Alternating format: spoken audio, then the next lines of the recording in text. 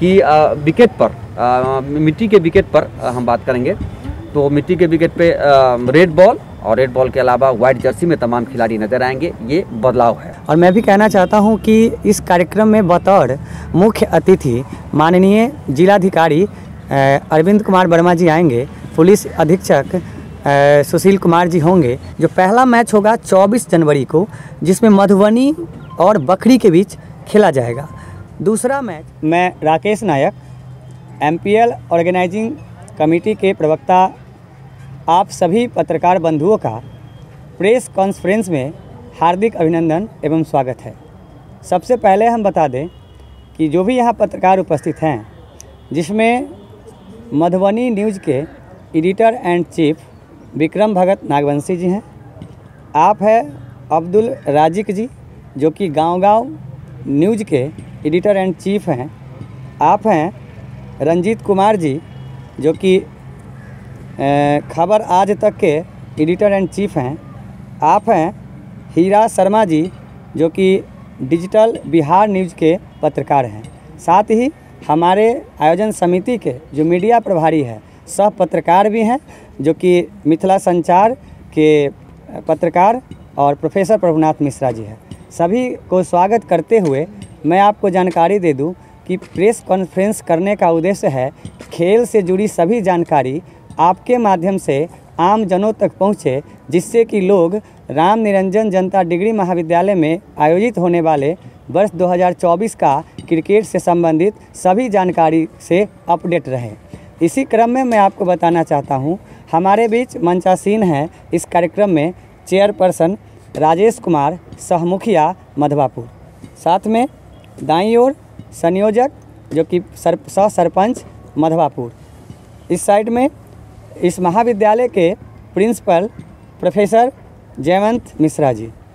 दाहिने साइड हमारे साथ हैं इस आयोजन समिति के कोषाध्यक्ष, जो कि प्रभारी कोषाध्यक्ष हैं, और यहाँ प्रभुनाथ मिश्रा जी, जो कि मीडिया प्रभारी है। पीछे से बात करें तो उपाध्यक्ष जी हैं, जो कि उस साइड से बात करें तो सत्येंद्र कुमार जी और साथ में हैं मिश्रा जी, अशोक मिश्रा जी और हमारे सचिव जी हैं और उमाशंकर गुप्ता जी इस साइड में हमारे व्यवस्थापक अजय भंडारी जी हैं। सभी के उपस्थिति में मैं आपको बताना ये चाहता हूँ कि आप हमें सहयोग करें जिससे कि लोग अधिक से अधिक यहाँ पहुँचे। अब विशेष जानकारी के लिए हम आमंत्रित करना चाहेंगे, आपको पूरी जानकारी देंगे आदरणीय अध्यक्ष श्री राजेश कुमार जी। जी, नमस्कार। जिस तरह अभी सारी दुनिया प्रभु श्री रामचंद्र जी के प्राण प्रतिष्ठा में लगे हुए हैं। 22 तारीख, उसी तरह हम लोग एमपीएल के आयोजन में महाकुंभ जो होने वाला है क्रिकेट का, उसमें हम लोग ज़ोर शोर से 24 तारीख के लिए लगे हुए हैं और बहुत जल्द आप लोगों को महामुकाबला का प्रदर्शन दिखलाया जाएगा। बस दो दिन रह गया है और आप लोगों से विशेष आग्रह है कि ग्राउंड पे आकर शांति ढंग से इस मैच का आनंद उठाएँगे और हमारे जो एमपीएल का उद्घाटन करने आ रहे हैं हमारे जिला के जिला अध्यक्ष जिला अधिकारी। अधिकारी डीएम साहब और एसपी साहब और जिला के मेयर साहब और बगल देश अपने नेपाल से भी, वहाँ से भी हमारे गेस्ट आ रहे हैं।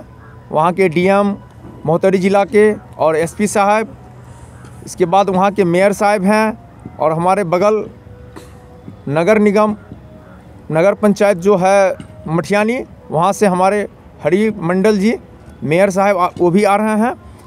और यहाँ पे भारत और नेपाल के बीच पहला मैच देखने को आप लोगों को मिलेगा, जो बेटी रोटी का संबंध को दर्शाता है। भारत से मधुबनी जिला की जिला की टीम और नेपाल से मोहतरी जिला की बकरी की टीम के साथ ओपनिंग मैच करवाया जाएगा। तो आप लोग ओपनिंग में भारी से भारी संख्या में आकर के इस ओपनिंग का आनंद उठाने का प्रयास करें। नमस्कार, मैं संयोजक बलराम कुमार झा।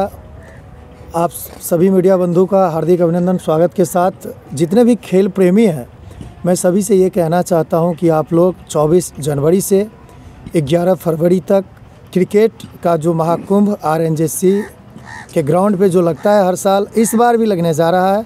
आप लोग आइए और देख रहे हैं कि हमने अपने गेस्ट को आमंत्रण कार्ड बना रखा है और हमारे ज़िला के कैप्टन, यानी हमारे डीएम साहब, पुलिस के कैप्टन ज़िला से एसपी साहब और मित्र राष्ट्र के महोत्तरी ज़िला के डीएम साहब, एसपी साहब, मेयर साहब, हमारे मधुबनी ज़िला के मेयर साहब, उप मेयर साहब, बगल मटियानी के मेयर साहब और इसके अलावा इस पंचायत, प्रखंड सहित अगल बगल के जो भी ज्ञानमान लोग हैं, जो भी राजनीति व्यक्ति हैं, सभी को इनवाइट किया जाएगा और सभी लोग इसमें गरिमा में उपस्थिति में उद्घाटन मैच होगा, जिसमें आप सभी लोग सादर आमंत्रित हैं, अधिक से अधिक संख्या में आकर क्रिकेट का आनंद लें। और खेल से मनोरंजन उठाएँ। R N J degree college परिवार के तरफ़ से आयोजन आयोजन समिति के तमाम अध्यक्ष तमाम सदस्यगण के हार्दिक अभिनंदन करै छी। ज़ोर दो दियो ई जे क्षण अइ से हमरा लेल गौरवशाली क्षण अइ। गौरवशाली एहि लेल नहि केवल कि एहिठाम क्रिकेटके टूर्नामेंटके आयोजन होइए बल्कि जे स्थितिमे हमसभ छलहुँ ओहिमे आइ युवकके एहि समितिके ग्राउंड उपलब्ध करा सकलहुँ ताहिके लेल हमसभ अपनाके गौरवशाली महसूस करै देखल जाओ खेल हमसभ वस्तु मूलतः शिक्षक छी, आ शिक्षक कोनो ने कोनो रूपमे शिक्षे प्रदान छथि। खेल सेहो शिक्षाके एकटा प्रैक्टिकल माध्यम छै। खेलमे नहि केवल एक्सरसाइज छै। नहि केवल मनोरंजन होइ छै एक्सरसाइज अनुशासन लोक सिखै सांगठनिक क्षमताके विकास होइ छनि, धैर्य के विकास छै। मूलतः जे मानव जीवनमे सफलताके लेल जाहि गुण सभक ज़रूरत होइ छै, ओ प्रैक्टिकली लोक खेलके माध्यमसँ प्राप्त करैए। आओर खेलमे क- कखनो जीत होइ छै, तऽ ओहि जीतके, उल्लासके संयमित करऽके जे गुण प्राप्त आ हारला पर पुनः नया स्तरसँ जे छै से लोक जोश कऽ कऽ जोशसँ प्रयास करैए, अहू गुणके विकास होइ छै। अन्तिम बात, सबसँ महत्वपूर्ण जवाबदेही होइ छै कोनो ठाम खेलक मैदानमे आयोजन समितिके। विभिन्न तरहके आफत उपद्रव अबै से सामाजिक उपद्रव सेहो होइ छै, क्रिकेटके खिलाड़ी द्वारा सेहो उपस्थित हो- जाइ छै तऽ ओहि सबके धैर्यपूर्वक बतौर गार्जियन ईसब जे छै से ओहि कर्तव्यके निर्वहन करैत एहि कामनाक संग हम अपन बात समाप्त करै नमस्कार, मैं एमपीएल मीडिया प्रभारी प्रभु मिश्रा जैसा कि आप आप लोगों ने तमाम चीज़ों से अवगत हुए अपने आप को, हमारे एमपीएल आयोजन समिति के अध्यक्ष राजेश कुमार जी ने आपको बताया विस्तृत जो कार्यक्रम कैसा रहने वाला है। दरअसल MPL आयोजन के जो, ये सातवां आयाम है। और इस आयाम में हम लोगों ने कुछ बदलाव करने की कोशिश की है। हालाँकि ये नहीं है कि पहली बार ये बदलाव हुए हैं। बीच बीच में बदलाव होता रहा है। बदलाव हम हम लोग करते आ रहे हैं। और बदलाव पे कुछ मैं आपको जानकारी कराना चाहूँगा। बदलाव ये है इस टूर्नामेंट में, जो आज से पिछले दो जो टूर्नामेंट हम लोगों ने करवाया था, उसमें हम लोगों ने क्या किया था तो वाइट बॉल और रंगीन ड्रेस का, ड्रेस कोड का हम लोगों ने इस्तेमाल करवाया था, उसको हम लोग रखे थे डिसिप्लिन के अंदर में। इस बार हम लोगों ने क्या किया है तो वो करने का एक कारण था ये कि चूँकि अंतर्राष्ट्रीय राष्ट्रीय क्रिकेट में या क्रिकेट में जिस तरीके से बदलाव होते रहे हैं और रंगीन क्रिकेट ज़्यादा आजकल बढ़ रहा है, इस हिसाब से हम लोगों ने उस चीज़ को लाया था। लेकिन एक बार हम लोगों ने फिर से क्या किया है तो ए, फिर से इम्प्लीमेंट ये हो रहा है कि मेट को हम लोग चेंज करके पहले मेट दो साल चला था मेट को चेंज करके हम लोग टर्फ पिट बना, रहे हैं मिट्टी से बना हुआ पिट बन, बन रहा है वो तैयार कर लिया गया है जैसा कि आपने देखे होंगे आपको जानकारी होगा। इसके अलावा रेड बॉल का इस्तेमाल किया जाएगा और वाइट जर्सी की इस्तेमाल एक बार फिर से किया जाएगा ग्राउंड के ऊपर। वाइट जर्सी का मतलब ये होता है कि खिले हुए खिलाड़ी नज़र आते हैं। ग्राउंड में कहीं भी रहें तो आपको पता चल जाएँगे खिलाड़ी चूँकि ये लोकल क्रिकेट है और लोकल क्रिकेट है तो नियर वो गैप ज़्यादा नहीं होता है पब्लिक और पब्लिक और खिलाड़ी के बीच में तो वहाँ पता नहीं चलता रहता है कि कहाँ खिलाड़ी खड़े हैं और कहाँ पब्लिक खड़े हैं। इसलिए हम लोग ने एक बार फिर से एक इम्प्लीमेंट करने की कोशिश की है कि विकेट पर मिट्टी के विकेट पर हम बात करेंगे। तो मिट्टी के विकेट पे अ, रेड बॉल और रेड बॉल के अलावा वाइट जर्सी में तमाम खिलाड़ी नज़र आएँगे। ये बदलाव है। बड़ी बात यह है कुछ अलग इस बार आ, हमारे इस आयोजन को देखने को मिल सकता है आप लोगों को। जैसे कि बताया कि जिला पदाधिकारी आ, उद्घाटनकर्ता होंगे। आएँगे हमारे इसलिए सुखद क्षण है मधवापुर प्रखंड के लिए सुखद क्षण है एमपीएल आयोजन के लिए कि जिला पदाधिकारी आ, रहे हैं। उनके साथ साथ पुलिस कप्तान पुलिस अधीक्षक भी पहुँच रहे हैं सुशील कुमार जी और जिला पदाधिकारी अरविंद कुमार शर्मा जी। तो इस तरीके से और विशेष जानकारी राकेश जी कराएँगे आयोजन से संबंधित। जी पुनः आप सभी को जानकारी दे दें कि सर्वप्रथम, हम, ये कहना चाहते हैं कि 24 जनवरी को जब हमारा शुभारंभ होगा इस कार्यक्रम का तो 10 बजे से सांस्कृतिक कार्यक्रम होगी। सांस्कृतिक कार्यक्रम एक घंटे चलेगी, जो 11 बजे तक चलेगी।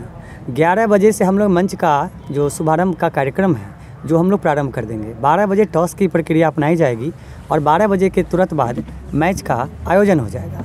जिसके रिगार्डिंग मैं आपको ये बताना चाहता हूँ आदरणीय सभी पत्रकार बंधुओं को कि इस कार्यक्रम में जैसा कि अध्यक्ष जी ने भी कहा है और मैं भी कहना चाहता हूँ कि इस कार्यक्रम में बतौर मुख्य अतिथि माननीय जिलाधिकारी अरविंद कुमार वर्मा जी आएँगे, पुलिस अधीक्षक सुशील कुमार जी होंगे, साथ ही अनुमंडल पदाधिकारी महोदया मनीषा कुमारी जी, अनुमंडल पुलिस पदाधिकारी महोदया नेहा कुमारी जी और इनके अलावा मधवापुर के स्थानीय प्रशासन, साथ ही जनप्रतिनिधि एवं नेपाल के सीडीओ, नेपाल महतरी के एसपी, साथ में एपीएफ के जो कमांडेंट हैं नेपाल के, इधर भारत एसएसबी के कमांडेंट भी उपस्थिति उनकी रहेगी। और जहाँ तक बात यह है कि सभी जनप्रतिनिधि भी मौजूद रहेंगे, मेयर साहब भी रहेंगे। अब मैं इनके अलावा मैं आपको महत्वपूर्ण जानकारी आपको देना चाहता हूँ। दर्शक सुनना चाहते होंगे कि किनके किनके बीच कौन सा मैच और कब कब कराई जाएगी। तो इस शेड्यूल मैं आप सभी के लिए संप्रेषित करने जा रहा हूँ।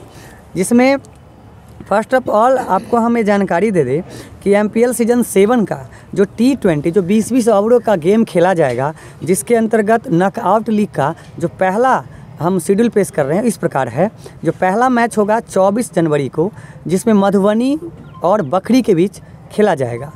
दूसरा मैच 25 जनवरी को, जो पूर्णिया एवं सीतामढ़ी के बीच खेला जाएगा। तीसरा मैच, जो कि 26 जनवरी को खेले जाएँगे, रिक्की एलेवन और पिपरौन के बीच खेले जाएँगे। चौथा मैच की बात करें आप तो 27 जनवरी को कटिहार और धनौजी धनुषा नेपाल के बीच खेले जाएँगे। पाँचवा मैच जो होगा 28 जनवरी को जो दरभंगा और जयनगर के बीच खेले जाएँगे।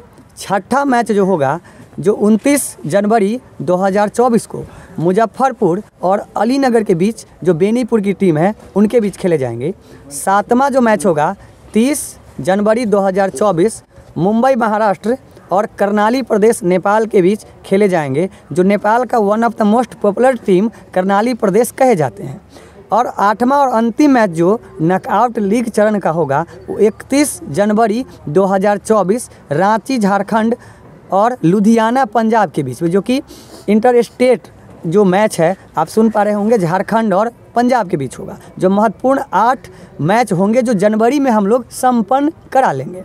इसके बाद सुपर एट के बाद सुपर फोर की मुकाबला, जो कि क्वार्टर फाइनल के नाम से हम लोग जानते हैं।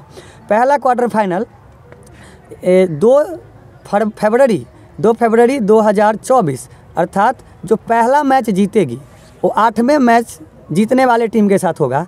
दूसरा मैच जो क्वार्टर फाइनल का होगा, तीसरे विजेता और सातवें विजेता के बीच तीसरा जो क्वार्टर फाइनल का मैच होगा, चौथा विजेता और छठे विजेता के बीच, और चौथा एवं अंतिम जो क्वार्टर फाइनल का मुकाबला खेली जाएगी इस राम निरंजन जनता डिग्री महाविद्यालय के प्ले ग्राउंड में चार फरवरी को, जो कि पाँच फरवरी को, जो कि चौथा एवं अंतिम होगा चौथे विजेता और पाँचवें विजेता के फिर सुपर फोर के बाद, सुपर टू, जो कि इसमें से चुने जाएँगे। तो चार इसके बाद सेमीफाइनल का जो मैच खेला जाएगा, सात फरवरी 2024 पहला विजेता वर्सेस चौथा विजेता।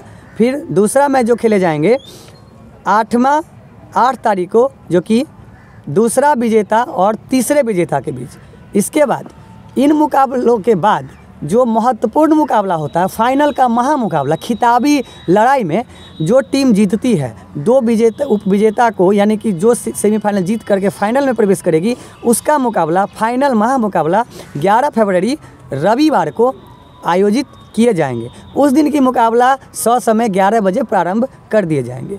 और महत्वपूर्ण बात, सबसे बड़ी बात यह है कि इसमें किसी प्रकार की बदलाव की संभावना आयोजन समिति के पास सुरक्षित है। अपने हिसाब से वो बदलाव कर सकती है, जो कि हम लोगों के पास सुरक्षित है समय को देखते हुए। और महत्वपूर्ण बात ये मैं बताना चाहूँगा, जो हमारे दर्शक हैं, दूर दराज से आते हैं तो ये जानकारी आप अपने पास रख ले कि जो हम लोग का एम है, आपके साथ, विश्वास के साथ खड़ा है, जैसे हम लोग पहले स्वागत करते थे।